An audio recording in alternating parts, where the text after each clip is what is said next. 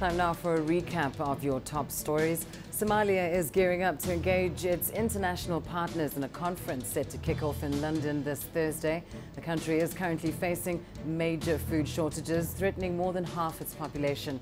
The meeting will also discuss the strategy against Al Qaeda linked Al Shabaab.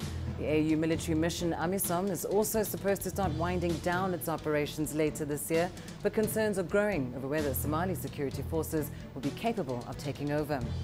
The president of South Sudan has replaced his army chief, Paul Malong, with a general who comes from an ethnic minority.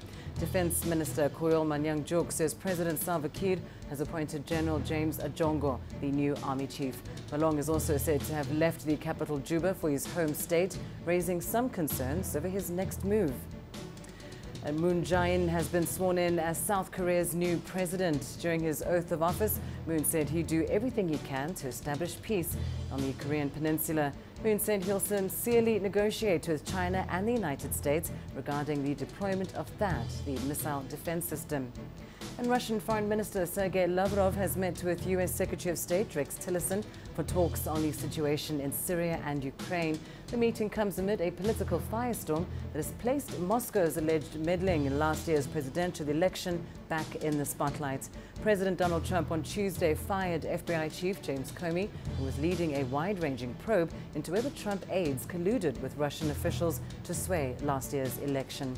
And those are the top stories we're following this hour.